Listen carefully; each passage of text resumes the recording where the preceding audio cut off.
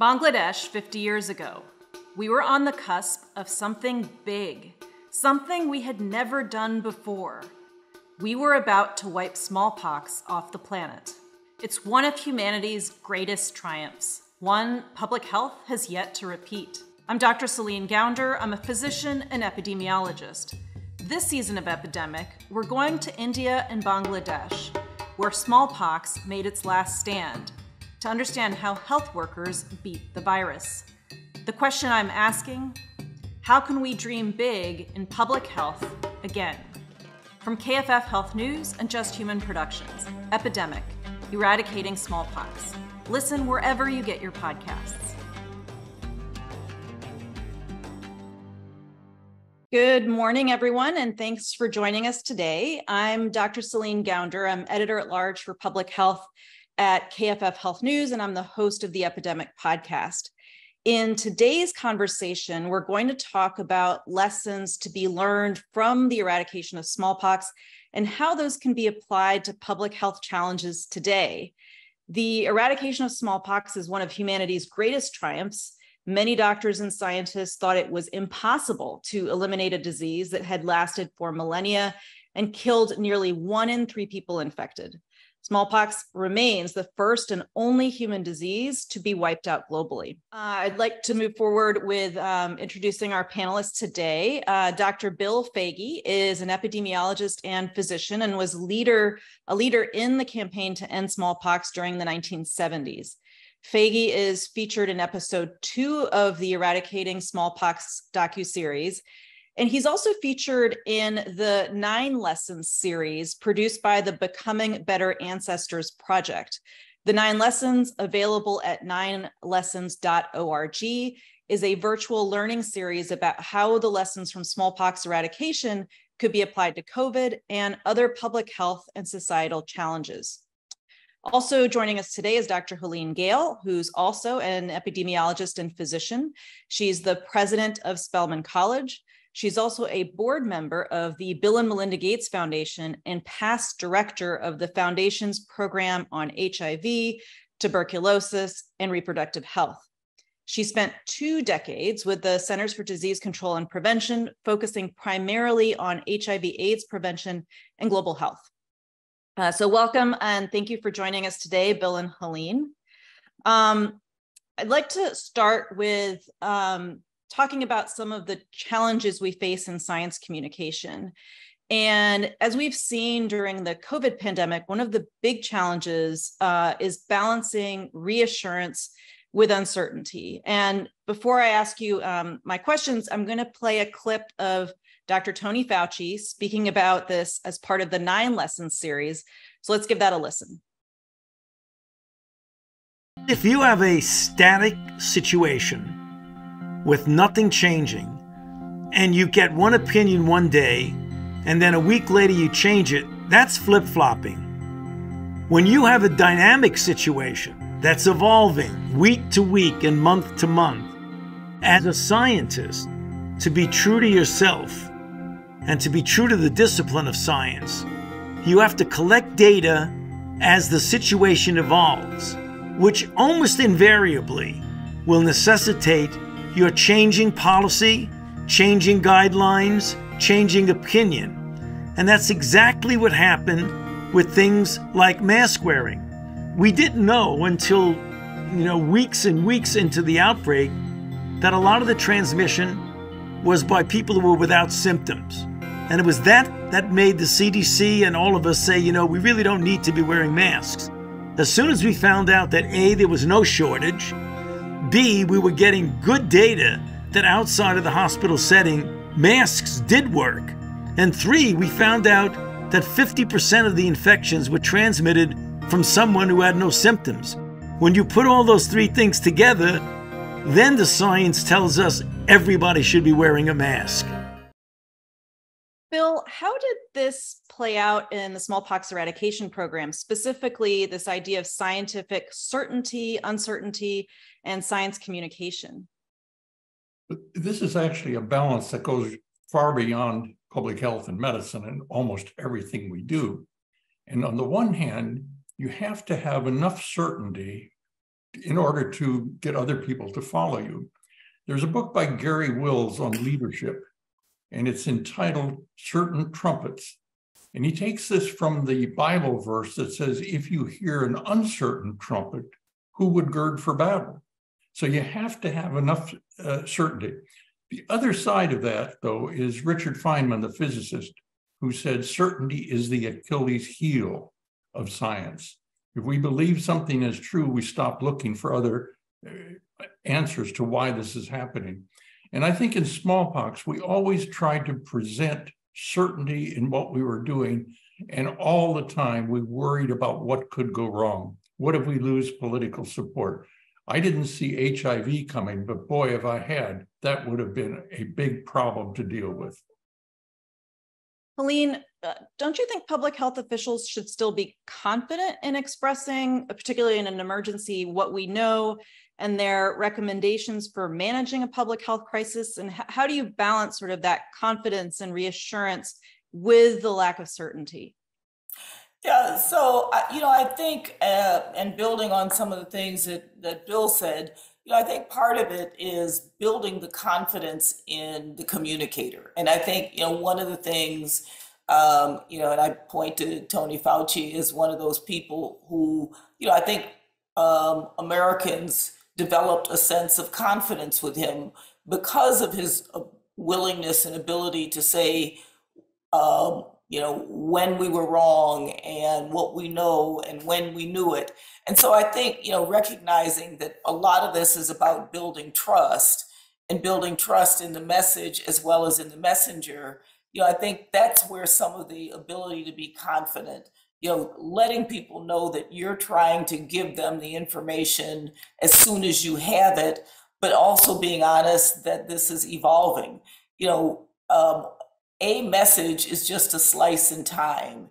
And I think it's important that we remember that we're creating a narrative every time we open our mouths and, and thinking about what's the narrative that we're creating and being consistent in that narrative. So I think the consistency, um, building that trust, being able to say what you know and what you don't know is what really, I think, builds the confidence in the messages. I think what we saw through this pandemic, as well, uh, the COVID pandemic, as well as past, are people who are um, unwilling to to admit the what they know and what they don't know, unwilling to go back and explain why we said something when we said it and why we're uh, making that explanation of why we're now changing, as I think Tony Fauci did very clearly about mask wearing. So I think all of those things that really are about building trust and confidence are what can make us better in our communication as public health officials. So it still amazes me that the global health community decided to take on smallpox eradication. Um, we often hear about sustainability, cost effectiveness, those kinds of um, economic concepts. What does it mean, Helene, for a program to be sustainable? And when we say sustainable, for whom? Yeah, well, you know, I think what what we what we hope when we talk about sustainability is that efforts that are important for the short run can be sustained over the long run. And I think what we see so often in public health is that we uh, have this massive um, surge of resources, personnel, uh, effort that then we let go of um, in between times. So each time we have a pandemic, we have to create this big surge all over again. You know, what we need in public health um, is to be able to have that kind of long term sustainable approach, understanding that there will be times when we have to have those surges, but not letting everything go in between time. You know, when you say for whom, uh, you know, it's really about how do we create a system and have a system that is in place that gets us not uh, only at the times of great need and crisis, but there, but is there for the public's health uh, for the long term. And that's what I hope we can move to as we think about public health in America and around the world. Bill, um, does that sound like that's a sustainable goal, quote unquote? And should we be setting our public health goals based on what some think is sustainable or not? Well, sustainability is a problem that I've often had because people require evidence of sustainability before they'll fund something. But you don't know what is sustainable until you try and, and do it. And one of the lessons that I learned in the 70s was in this country, the appropriations for measles would go up when there were lots of measles cases, and they would go down when cases were reduced. And inevitably, when they would go down, then the numbers had come up again. And so we had these variations. And we made a decision in the 1970s what would happen if we could interrupt transmission once? And that changes everything. Now the norm would be no transmission and you could sustain the appropriations, and it worked. We finally did that. So sustainability is something that bothers me. The, the pragmatists demand this, and I understand where they're coming from. But there was a fellow by name of Harlan Cleveland, who was an American uh, diplomat. He was our ambassador to NATO for many years. And late in his life, he became interested in global health. And he was astonished at what happened with so few resources. And he came to the conclusion that global health workers are fueled on unwarranted optimism. Mm-hmm. And I like that phrase because that is, in fact, what we do is we become very optimistic and we make something happen that could not have been foreseen that it would happen. So this also reminds me about a conversation we had on uh, the podcast with a, believe it or not, a science fiction writer. Uh, her name is Adrienne Maree Brown, and we spoke with her about how she imagines worlds possibilities different from our own. Uh, so let's hear a short clip of that now where do you find the inspiration to think up, to dream up the worlds that are so wildly different from our present reality? Saying that stuff is just the way it is, that's one of the greatest ways that those who currently benefit from the way things are keep us from even imagining that things could be different. For centuries in this country, we were told that slavery was just the way things are and that it could never be any different. And yet, there are people in those systems who said, This isn't right this isn't fair, something else is actually possible. So, a lot of the work of radical imagination for me is the work of saying, can we imagine a world in which our lives actually matter and we structure our society around the care that we can give to each other, the care that we need? Bill, you just talked about um, unwarranted optimism. And you told me once, in fact, I think more than once, to bet on the optimists. But to go back to what you're saying about the pragmatist, doesn't it make more sense on some level to be pragmatic and realistic if you want to get things done? And how would realism have gotten in the way of efforts to eradicate smallpox? Well, I think realism would have kept us from trying many things that we've tried. And what the clip you just showed about an imagination that goes beyond realism is so important. If I would be director of CDC again, if I had a problem, I would try to get six comedians to come to CDC and I'd present them with the problem because they think in a different world than realism. And so I think it's it's just makes sense to be unrealistic that we can do these things.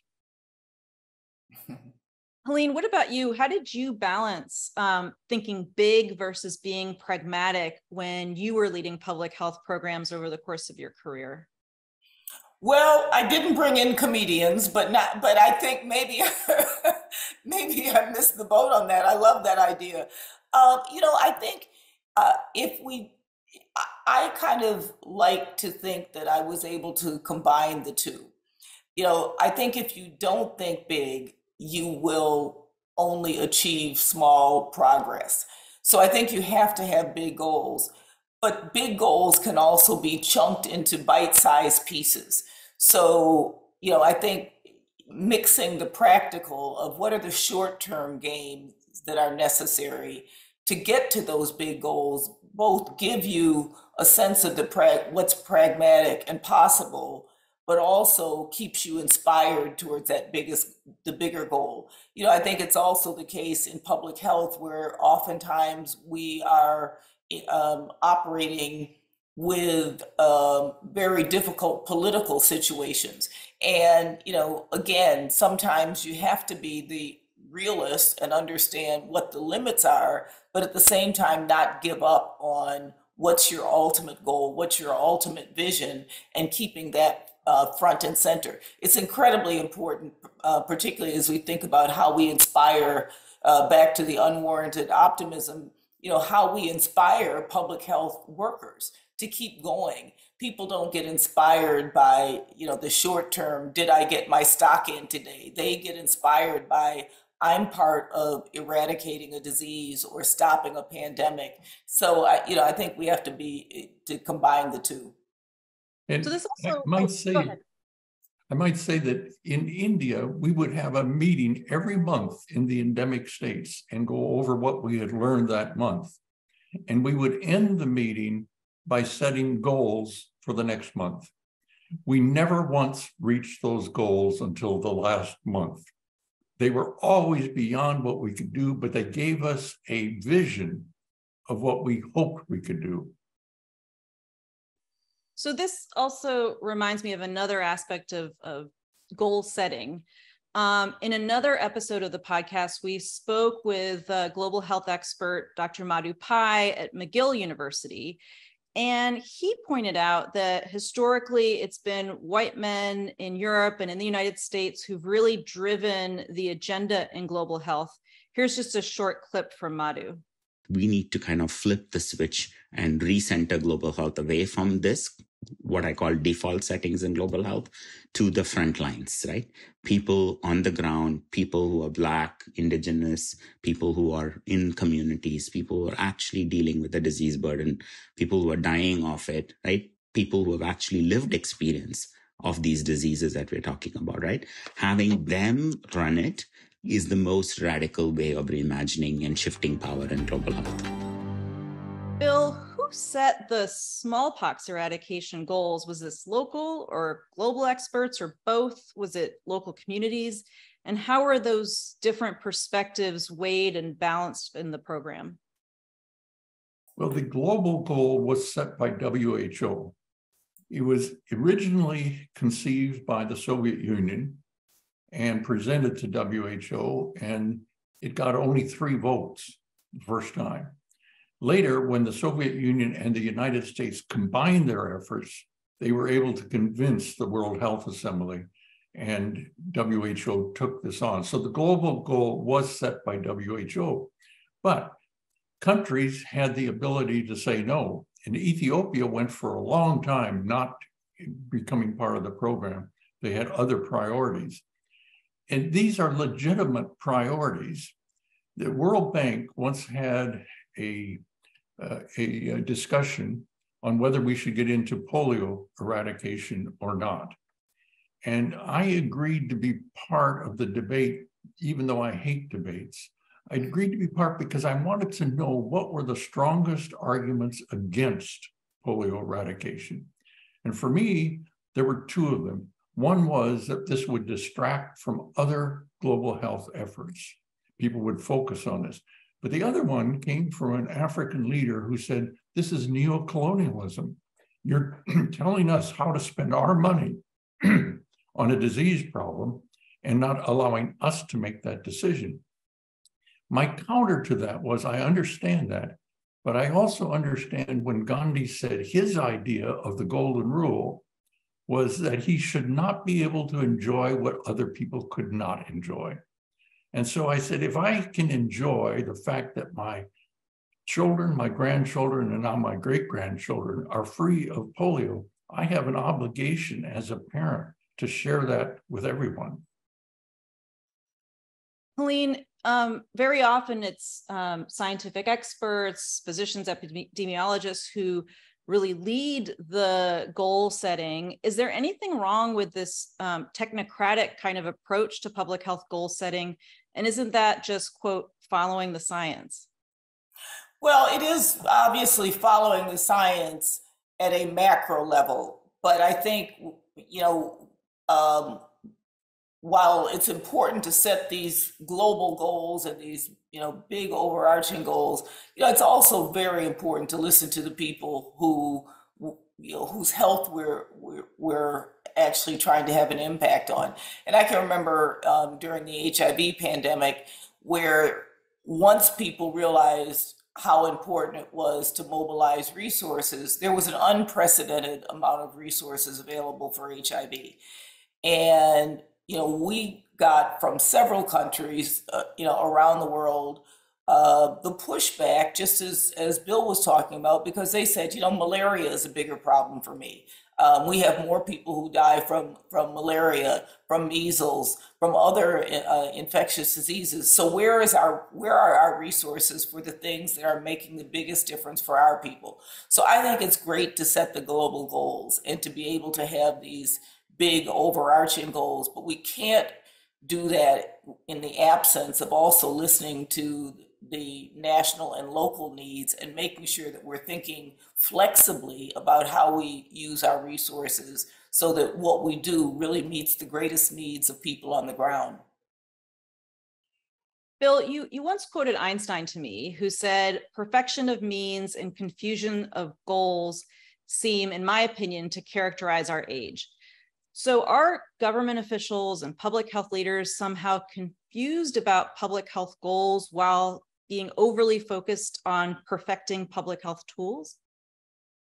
I think so. You can't stop scientists from trying to enlarge their area of knowledge. I mean, this is what scientists do. They try to figure out what is right and what is wrong.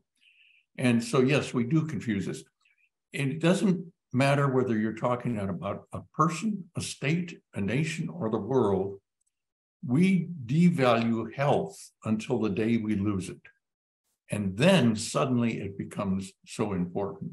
And so, this idea of conveying what should happen ahead of time so we don't lose health eh, is, a, is problematic. But yes, it's much easier to, to concentrate on the specifics and lose our sight of where we're actually going with this. Can you just give an example of um, this attempt to perfect a public health tool? Well, the um, with vaccines, you see that people keep improving the vaccines, but don't improve how to get them to everyone. The clip you showed on white people, mainly white men, making the decisions on global health in the past is so true. And I've just finished reviewing the history of global health. And I think the one thing that was most destructive of global health was colonialism. Some people try to, to justify it on the basis of it brought new science and so forth. But just think of this country and the fact that colonialism killed off so many people that the slave trade became so important. And so today, we're still operating with the effects of colonialism in this hemisphere. So, not seeing the vision of the big goal and concentrating on small things, it's easier for all of us to do. Helene, do you agree that public health officials are confused about the goals? And, and if so, why and how? Well, you know, I think it's hard to talk about public health officials as a monolith. And, you know, it's it's part of the challenge, you know, particularly in this country, is that we have such a disjointed um, public health system. And I think we would benefit from having a much different um, public health system such that, you know, um, people can individualize you know their roles, uh, what they want to focus on, et cetera. But at a national level, and I would argue even at a global level, that there is a system that is consistent about what's most important and that and what's most important to deliver on. So, you know, I do think that there's a lot of inconsistency in our system. I think we have a um, you know fragmented public health system, and we would really benefit by having something that really had a much more of a network that is coordinated than what we have today. So I just got back um, actually from vacation in Morocco, and I happened to be staying in the Medina in Marrakesh the night of the earthquake. And it's now been estimated that uh, nearly 3,000 people have died um, in that earthquake or from that earthquake to date. I felt it, um, but the building where I was staying sustained hardly any damage. Um, and to date, I haven't heard of any tourists or expats having been reported dead or seriously injured. Now, this was not an infectious disease outbreak, but it is a public health crisis of a kind, and some are more likely to be hurt and die than others. What does this tell us about, uh, Bill, how to build resilience into the system, and how was this done in the context of smallpox?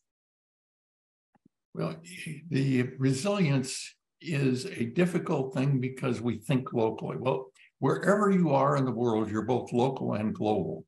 So I keep telling students wherever you're working, you're working on global health.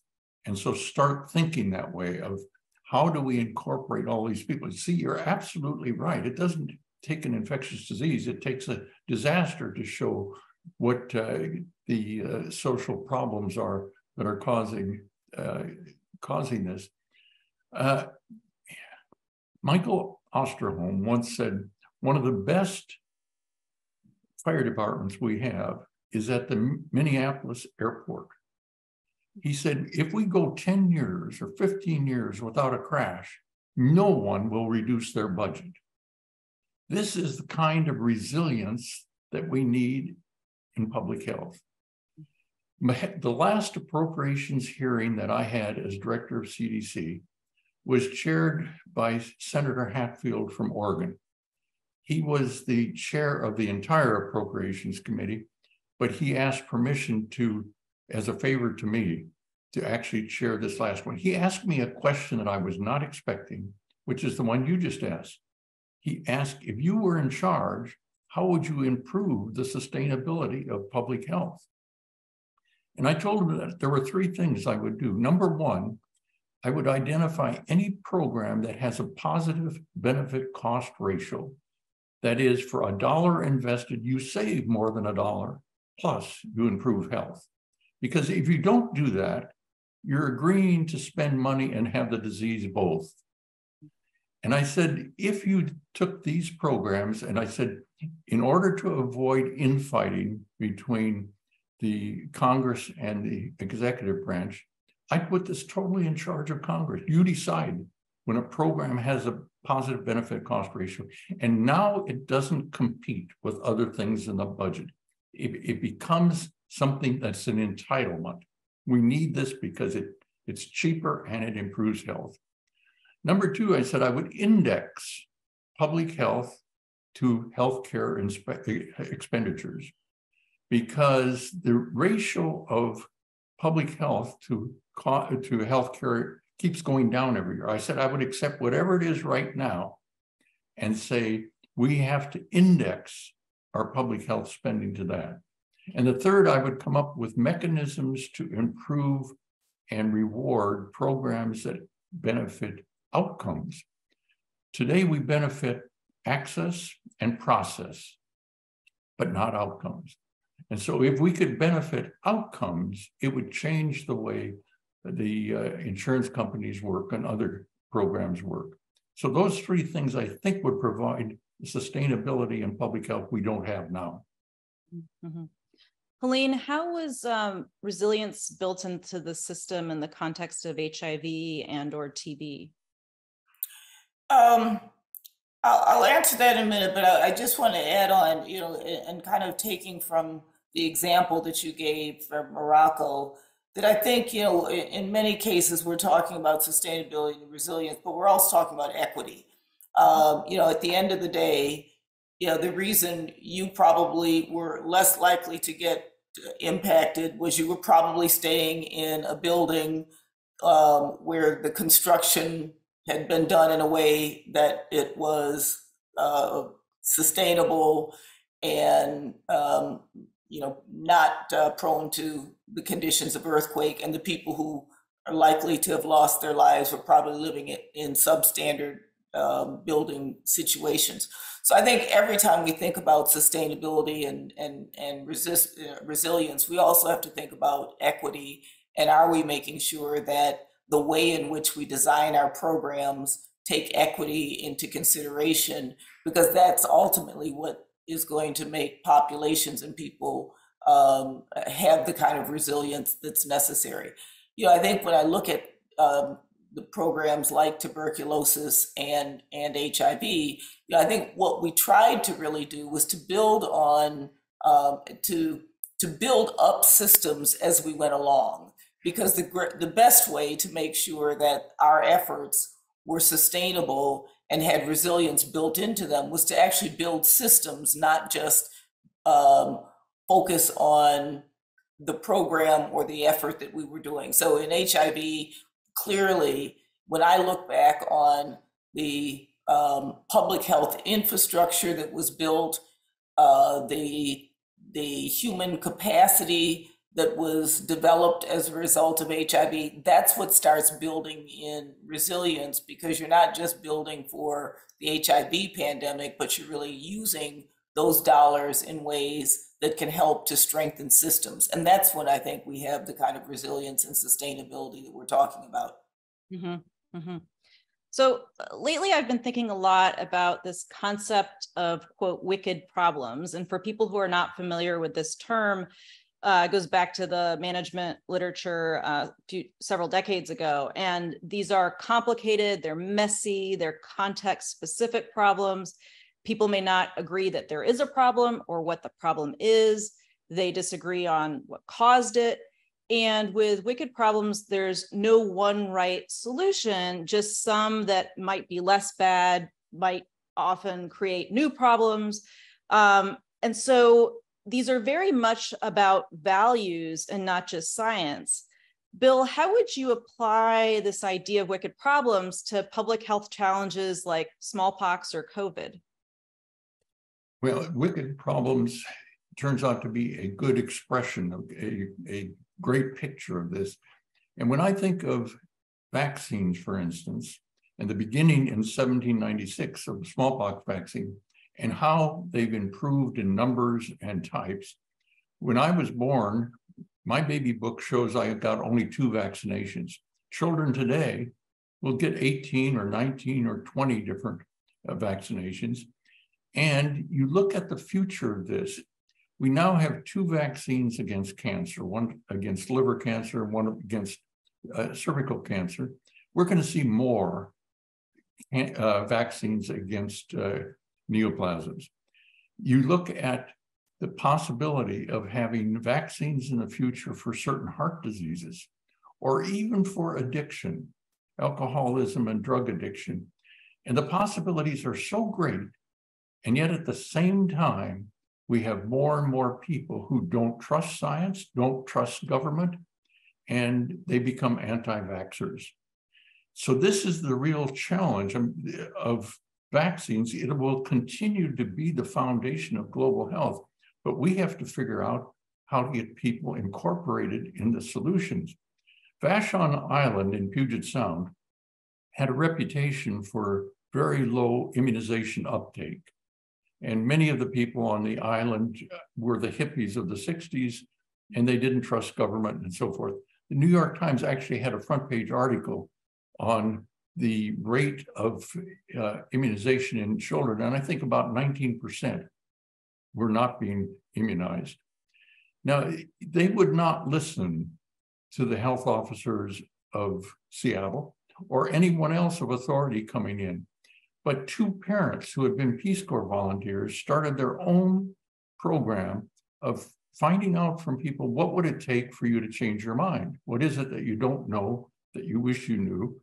And the uh, vaccination rate decreased from 81% or increased from 81% up to 88, 89%. They were doing something at a grassroots level that we could not have done from the top down. And uh, so there are solutions to wicked problems, but they sure do require energy and organization and the ability to respect culture. Mm-hmm, mm-hmm.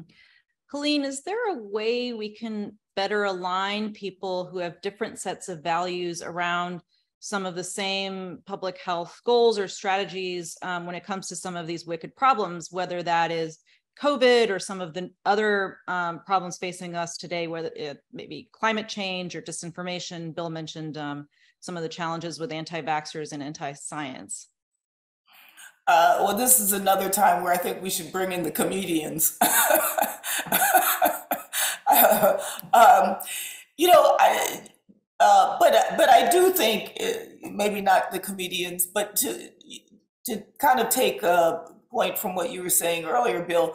You know, I do think looking at how do you find the common ground, and sometimes you know um, there's only five percent of common ground, but you can start with that and you know continue to grow from there. So you know, I think oftentimes we approach these things um, that are adversarial in another in a counter adversarial way. So you know, if somebody's hostile, we up the hostility instead of thinking, all right, where where can we find common ground? What are the things that we all agree upon? And sometimes it's just the simple fact that we agree that you know uh, saving lives is a high value and you can start from there and begin to develop the proof points that make non-believers believers so you know i just think it i think we don't do enough of thinking about where we find common ground and instead um, go to our corners and think by continuing to insist on what we believe and think that that's what's going to convince people versus starting from where we all have a common belief and building from there. You know, I don't know any other way to do it. It's not a magic bullet. It won't work any, all the time. But I also think there has to be a point at which you recognize there are some people who you will never get on your side. And if you continue to try to wait for that to happen, um, you know, you'll get stuck and not move forward. So there's always a certain point when you just need to keep moving forward, understanding that if you demonstrate effectiveness, um, you will, that may be the most likely way of bringing others along. And when, when I've had an opportunity to meet with anti vaxxers, I always start with the fact that I know no parent does this withholding vaccines to hurt their child. Exactly. They do it only because they believe it's the best thing for their child. And so if you can start there, uh, you're in a different position than if you just say, well, don't you read the literature don't you listen to, to so I think uh, understanding that there's a reason why people feel this way is the beginning. Mm-hmm, mm-hmm. So um, earlier we were talking a bit about um, public health tools and this desire to perfect public health tools. But at the same time, um, innovations in medical technology were in fact key to eradicating smallpox, especially a simple little tool called the bifurcated needle. Here's a clip um, of some smallpox eradication workers discussing this tool from episode four of the podcast. In the early 1970s, smallpox was still stalking parts of South Asia. India had launched its eradication program more than a decade before, but public health workers couldn't keep up with the virus. Enter the bifurcated needle. It was a marvelous invention in its simplicity. It looks like a little cocktail fork. You dip the prongs into a bit of vaccine. And you would just prick the skin about 12 or 15 times and until there was a, a little trace of blood, and then you'd take another one. It barely took 30 seconds to vaccinate someone and it didn't hurt. No. Well, it didn't hurt too much. It was just like a pinprick rapidly done on your forearm. You had a huge supply with you and you just went about and dug, dug, dug, vaccinated people. Carry hundreds with you at one go. And you could train somebody in a matter of minutes to do it. Easy to use, easy to clean, and a big improvement over the twisting teeth of the vaccine instrument health workers had to use before. The bifurcated needle was maybe two and a half, three inches long, small but sturdy enough for rough and tumble field work. It was made of steel and it used to come in something that looked like a brick. It was just like one of those gold bricks that you see in the movies. And maybe worth its weight in gold. So, Bill, um, public health officials say in the context of COVID that we now have the tools to diagnose and treat and prevent COVID. But are these tools enough for us to declare victory over COVID when not everyone has access to those tools? And in the context of smallpox, how did non biomedical tools complement uh, biomedical in, uh, innovations like the bifurcated needle? Well, uh, going back to what Helene said, we have to be thinking of this globally and everyone and realize that these tools for smallpox, that is the vaccine, at least some way of giving it, existed long before WHO decided to have a program. But the people that were getting smallpox were the ones who were disenfranchised. They were the ones who were unemployed in poverty, who had bias, that sort of thing. And so uh, it was very important to include the non technical things and in smallpox, I can tell you that every school and every church and every chief of a village and every volunteer that became involved was part of the solution of this. Now, on the other hand, I can't quite give up on smallpox eradication even now, uh, 40 plus years later. And I keep thinking of ways we could have improved. I, nowadays, I would train dogs to pick up the scent of smallpox. It, because uh, sometimes you would have beggar communities, people actually at the railroad station covered with a cloth with smallpox, but nobody knew that. But a dog would have picked that up right away. I've even come to the conclusion if we were well enough organized, we could get rid of smallpox without vaccine and without the biotechnical tools, the, the bifurcated needle, the jet injector, and so forth. You would simply get people who are sick with smallpox and you would isolate them immediately. And then you would follow all of their contacts.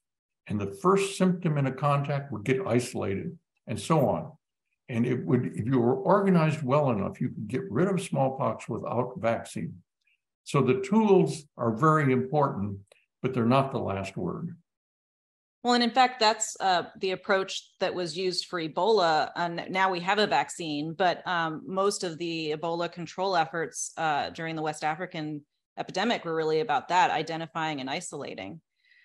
Uh, Helene, are we overly reliant on biomedical tools? And um, should we uh, if if we are overly reliant, should we uh, pave the way for greater use of non-biomedical tools? Well, you know, as we know, uh, the social determinants of health contribute more to health status than um, access to healthcare itself. So, access to healthcare, including all the biomedical advances, is necessary but not sufficient. I think we have to continue to think about, you know, why do we have some of the uh, gaps in health that we know already exist. You know, we look at the COVID pandemic as an example, you know, where we know that the populations that were at greatest risk outside of age um, are people who lived in in houses that were overcrowded or who had jobs that put them at risk, low wage earners, et cetera. So, you know, I think we, we have to think about both things. And I think, you know, uh, back to your earlier question that is kind of about, you know, people's trust and mistrust, part of the trust in people being willing to access some of our biomedical tools comes from feeling that the rest of their needs are also being taken care of. So if we just think of populations as, you know, we've got these great tools and and you know, we are going to um, give you these tools, uh, you know, where when your greatest uh, challenge is whether or not you're going to be able to feed your children at night or whether or not you're going to have a roof over your head, um, you're not going to be as eager to and the uptake of our biomedical tools will not be as great. So I, I just think it's about combining both and making sure that we're thinking about some of these root causes that will also be part of um, helping to enhance, de- focusing on those will also be part of enhancing people's trust and belief in some of the other approaches, the biomedical approaches that we know also make a huge difference. Um, public health is is different from clinical medicine in that it focuses on the public or the we, so to speak, while clinical medicine focuses on the I or or the patient. There seems to be very little appetite in this moment for thinking about the we. Bill, is there anything wrong with that? And if so, how do we shift that perspective, that thinking about we and public health and beyond? People often say clinical medicine deals with the numerator, the people that come to clinics and hospitals for care, while public health deals with the denominator. That's simplistic because the denominator includes the numerator. And so public health really is concentrated on everybody on the we. And the how to get everybody together on this, there are two things from history that always impressed me. Confucius was asked by a student once, could you tell us in one word how best to live? And Confucius said, is not reciprocity that word? And so this is we, that everybody's uh, dealing with each other. And then Gandhi said his idea of the golden rule was that he should not enjoy something not enjoyed by everyone, the we. So we keep hearing this from the wise people of history to stop thinking about just ourselves. Gandhi also said we should seek interdependence with the same zeal that we seek self reliance. And then he added in a soft voice, there is no alternative. And, and this is true. There is no alternative. And we've just got to take that approach in school. That much of school is built around how to improve your self-reliance, how to develop, how to get money in the future and so forth. And we have to figure out how to teach interdependence. Helene, should we be moving from an I to a we framing? And, and if so, how do we do that? Yeah, I think we have to. Uh, I think we we recognize, you know, and, and when we have pandemics, it's very obvious. You know, you can't just think about what's happening to you as an individual without recognizing that if we don't uh, stem transmission for something like a COVID, all of our all of us are at risk. So I think this sense of reciprocity um, is critical as we think about it, and it, you know, it's it's more broadly in our society. You know, we can't think that uh, crime happens in one part of the city and it won't also impact our economy, the economy of the city overall, and ultimately impact other neighborhoods. I, you know, I think we continue to think that we can wall off problems when we uh, have to realize how interconnected we are, whether it's health, whether it's our economies, you know, whether it's the issue of, of climate change you know, I think as a as a species, you know, we're at a point where the I thinking um, is having huge impacts for all of us, and unless we start having that we mindset, you know, we you know we really are not going to be able to tackle some of these you know difficult, wicked problems. And Celine, oh, go ahead, go ahead. Sorry. If I could add one thing that Will Durant once said, we will never do things globally unless we fear an alien invasion. And the what we've come up with are surrogates for alien invasions. So we see nuclear weapons as threatening them, all of us, so we think we. But there are other things. Uh, by our synthetic biology might be another one of these. Uh, climate change may be a, a, th- a third one. We have four or five things that could totally eliminate people and we should be thinking we in order to solve those problems. Mm-hmm, mm-hmm. So I'm now going to shift gears a little bit and take some of the questions our audience has been sending in. The first comes from Parvi Bhatt, uh, who asks, as we try to deal with new pandemics and eliminate older ones, how can we balance attention spans, science, and safety in a world where, quote, failing fast and disruption define how we think about innovation? Helene, do you want to take a stab at that one? Well, you know, I just think we have to stay the course and continue to find ways. And, you know, we started out talking about health communications. You know, I think um, we need to get better at our communications and in keeping people engaged in issues because we are living in this, eh, you know, 24 7 news cycle and, uh, you know, a new issue coming up all the time. I think we as health professionals have an obligation to make sure that we are keeping these issues that are uh, that are front and center, um, you know, in people's minds, and continue to to um, share what progress is happening. Because I think when people recognize there's progress, um, and you're not just telling the same old story, I think you can keep people engaged. But I think it's on us to do a better job in that, uh, you know, in that in that regard. Bill, I tell students now, and it took me a long time to reach this conclusion, that whenever they're faced with these big problems, to think of three things. Number one, try to get the science right. We, we've talked about you can't always do that and you have to apologize and go back, but try to get the science right. Number two, add art to the science. Uh, Will Durant says the first scientist that we know by name was Imhotep in Egypt, who was a physician and an artist and designed the step pyramid.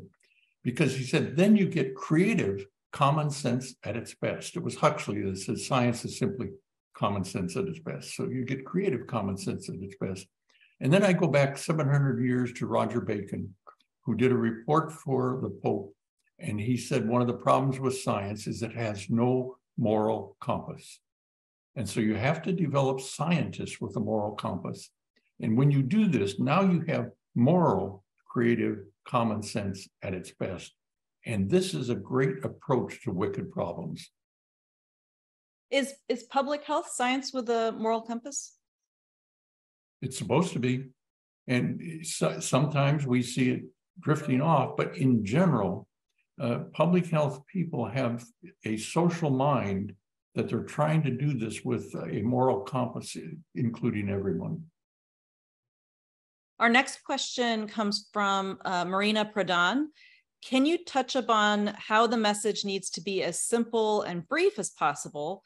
Dr. Fauci's message was very on point from a public health point of view, but how many in the general population would be able to assimilate that? Uh, Helene. Yeah, I would just say, you know, we have to tailor the message to the audience.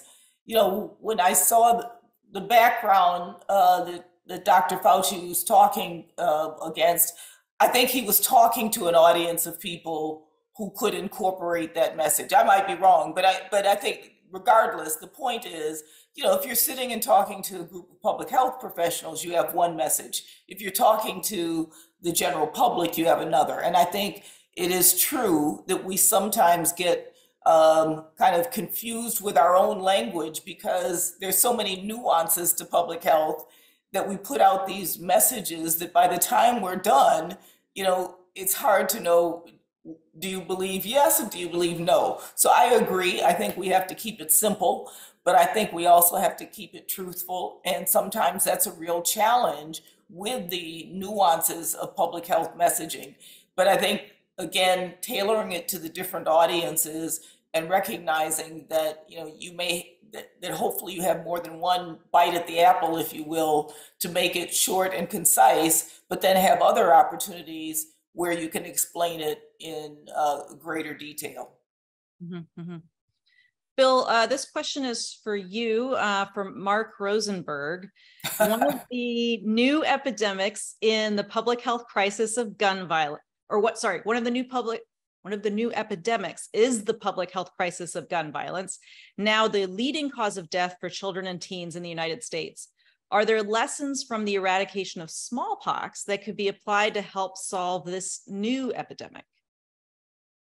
I think all of the, the lessons from smallpox, knowing the truth, having coalitions, uh, making sure that you're progressing in the right way, having respect for culture, all of these things uh, do apply.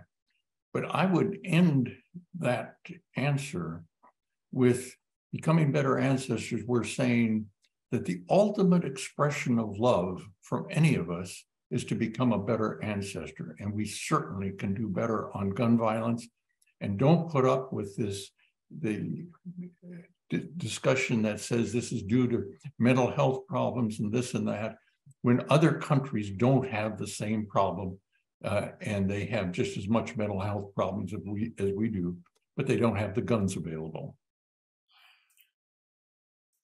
Helene, uh, this is a question from Ayo Femi Asanubi. Uh, Bill mentions that we don't know what is sustainable till we try. How would you approach sustainability for pandemic preparedness in the midst of trying to prioritize basic health service delivery? Uh, you know, well, I think that the two aren't necessarily in opposition. I think, you know, we need to have basic health services and building on basic services, um, making sure that we're thinking about how are those services available and sustainable so that when we have crises, public health crises, those systems are there and functional in a way that allows us to ramp up for public health emergencies. So I think those things are not in opposition. You know, it's what I was talking about earlier. I think we need um, a more um, uh, clear and comprehensive public health system that doesn't just get ramped up every time we have a crisis that it's there that it's that it's stable that we have the kind of workforce that we need that we have the kind of tools that we need and that those are in place and that we build upon those then the other services that are important um, you know for for individual care. So i you know again i kind of go back to a lot of this is about how we build systems that can be sustained and that are flexible uh, and nimble so that they can respond when we have these public health crises. So um, one last question. I'm going to um, give this one to bill uh, from David Torres, I teach my global health students about the history of smallpox eradication. Given the coercive nature of the final push to vaccinate some people for smallpox and today's resistance to and mistrust of public health measures, including vaccination campaigns and masking for COVID, uh, would the elimination of smallpox be conceivable today? And if so, how would it be accomplished? It would be very difficult today because of HIV and not knowing about immune systems, but you could still do it. The uh, question about coercion, we hear this often, and most of this comes from one paper by uh, Dr. Greenough, where he has interviewed people who worked on smallpox who used coercion they would break into huts at two in the morning with a police officer to do that. It, that none of that was necessary. And so particular people were so enthusiastic about smallpox eradication that they did this. But think about it for a moment. If you have a village with three people who have refused vaccination, if they get uh, smallpox, everyone around them is already vaccinated. They're the ones that suffer. You don't have to go in and use coercion. And so when I've talked to other people who worked in smallpox, they're surprised that anyone used coercion. You don't have to do that. And that's part of respecting the culture is that uh, you find other ways to do this. Well, I, I, really want to thank both of you, Bill and Helene, uh, for joining us today and for answering all of my questions, the audience's questions. Um, between the two of you, you have over a century's worth of wisdom uh, in public health.